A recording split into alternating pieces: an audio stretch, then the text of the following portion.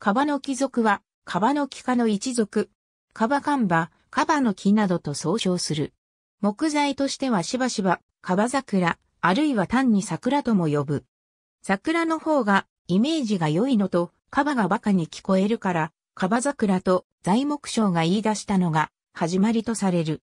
カバ桜という名称は木材商の悪しき習慣とされている。世界に約40種、日本に約10種がある。落葉紅葉樹で北半球の亜寒帯から温帯にかけて広く分布する。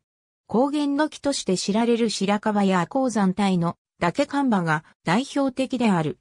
いわゆるパイオニア樹種の一つであり、日本の寒冷地では、笹が密生する無流木地の氷土を除去する自後白絵を、するとカバの木が優先することが多い。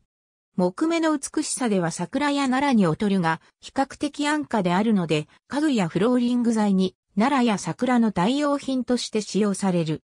廉価な商品に使われることが多い。